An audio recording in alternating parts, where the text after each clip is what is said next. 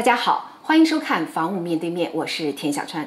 最近一段时间呢，大家都在关注，说拜登政府呢正在研究跟中国高层领导呢建立一条紧急热线，相当于冷战时期的红色电话。那么很多人都在说，这个有什么必要性？和未来有了它。能避免什么？今天我们请来了军事专家刘小飞老师，和我们一起聊聊这个话题。小飞好，最近呢，好像我这样的一个不关注时事的都听说了，中美之间，拜登政府呢希望能建立一个紧急热线。你说这事儿搞得是不是像当年一样的？呃，跟冷战时期是吧？我觉得冷战时期建这条热线呢，应该还是能够避免一些冲突的，不然的话，双方这个一个情报误判。弄不好核战争打起来了。比如说，我现在一个雷达监控的空域，突然一个信号发飞过来，疑似弹道导弹，疑似核武器，那怎么办？我得问一下啊，你是不是真想揍我一顿？人说我没有，没有啊。不，那不是我发射的。那好，起码沟通一下，咱们这个核战争的概率就可以降低下来。我怎么听着想想起了当年的那个古巴危机了呢？就是这么回事。而且您看那个电影了，库布里克导演的这么一个叫《奇爱博士》，他在里边也描述这么一个热线了，只不过热线没起作用。为什么呢？因为他这个美国人率先发起了攻击，是叛军，美国出现了叛军，发起了核攻击。然后那个俄罗斯那边、苏联那边呢，是他自动防御机制，就启动了反击。最后双方总统是这个或者领导人是通过热线谈了，谈了以后发现没法阻止了，白聊。当然那是他们电影中的情节，咱不说。现在美国人打算跟中国也搞这么一套这个最高档的热线，其实说白了也是想通过这种热线，在必要时候把自个儿的底牌亮出来给对方看看。你瞧，我现在的底牌是这个，我没想如何如何，你们不要过度反应。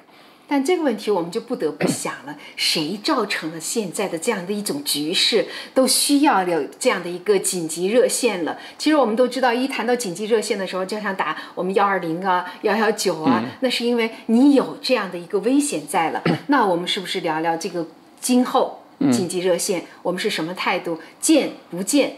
见之后又是呃，其实我觉得对于中国来讲，我们看到国内好像对这个紧急热线的这个说法。暂时呢，没有什么具体的回应。毕竟是按照我们过去的老话，自是体大啊，得好好研究一下。经过各级部委研究申报，最后报出个结论吗？结论之后上面那批见还是不见吗？让美国人等一下吧。我们有程序，这是我们的国情啊。关键是一点，这个热线的必要性到底怎么样？因为双方的军方是有类似热线的。实际上，沟通管道是一直是存在的。就是美国人说，过去的沟通管道存在情况下，为什么不用？还要把这个拿出来？其实我觉得，沟通在其次。摆出一个态度来，是美国一个核心的观点。他是告诉你，现在美国军方的观点跟我白宫的观点可能不一致，军方的说的事情跟我白宫想的可能也不是一回事儿。所以他说他的，我们得单说我们的。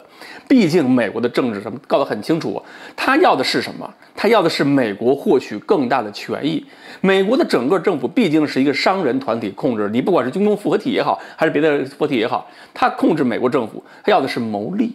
而商人政府是不愿意拼命的。你在这个说的时候呢，我们就想起来，最近呢，中美之间不论是贸易战、嗯，军事上的这种呃状态，以及技术上，包括产业链各种这种压制啊、对限制、媒媒体。那么现在要再出来一个紧急热线的话，我估计可能就是第六通道了。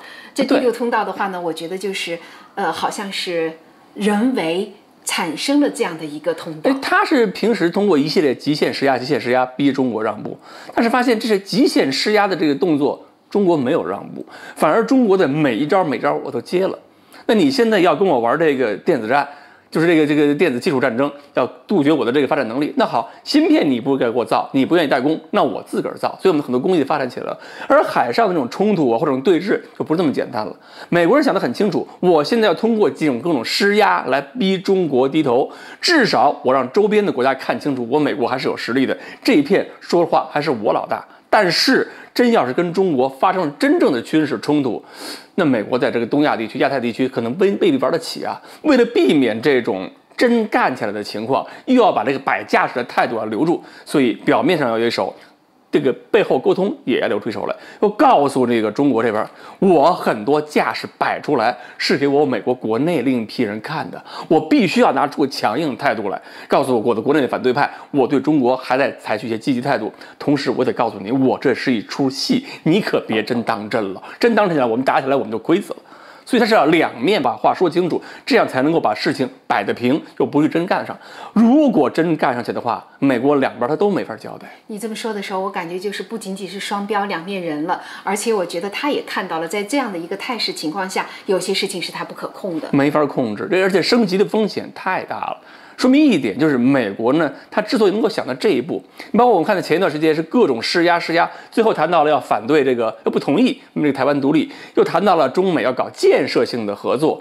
最近说的一句话就更露骨了，只要能够发展建设性的关系，白宫愿意配合中国。这个话都已经说出来了，说明美国经过一系列施压之后，发现自己手上的牌不好使了，没有把中国打趴下，反而把中国惹火了。这个时候，赶紧建一条这个红色电话热线。